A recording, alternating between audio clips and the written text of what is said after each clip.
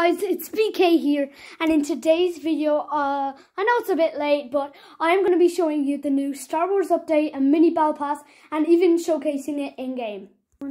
Say hi, gamer boy! Hey. Okay, so me and my friend Gamer Boy are going in to a match to showcase to you some of the items. Let's go!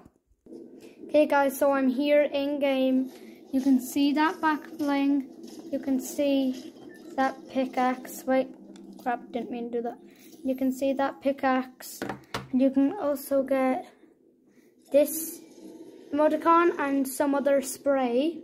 Now, you can go in, like, you can get another skin. It's the clone trooper and it's legit a clone of the stormtrooper.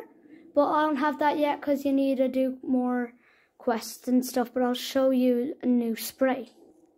Okay, so the new spray is here. Trooper information.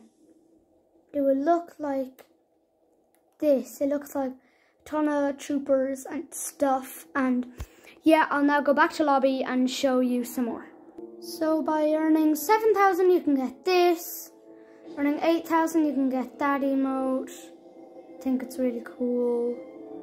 By earning 9,000 you'll get that spray, 10,000 a level up, and finally 11,000 that cool clone trooper that I'm trying to save up for, but poor me, only left here with 5,100 and it's 11,000. Um, wish me luck to get it.